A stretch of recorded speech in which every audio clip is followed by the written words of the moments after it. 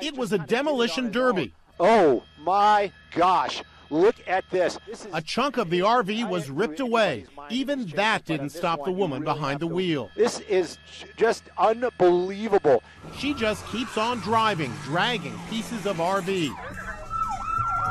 Look, she's got company. Her dog. There's Fido out there. He's staring out of the gaping hole. Even the dog can't believe it. He's had enough. Out he goes. Oh! Oh my God! The pooch limps away, and the wild chase goes on. Whoa! Ho ho! No! At street level, you can see smoking wreckage. Now look, she's got a second dog in the vehicle. This dog stays put, but the chase comes to an explosive halt when the woman smashes into a car. Oh!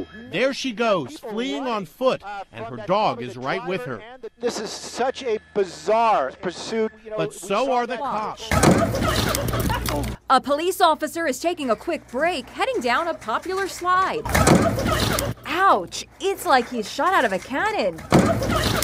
Hits the ground hard. It may look funny, but he had to be treated for a head injury and a banged up leg. The slide is meant for kids only. Posted warning signs say not intended for adult use and 5 to 12 year olds only. But that's not stopping grown ups from trying it out. In fact, they're flocking to it.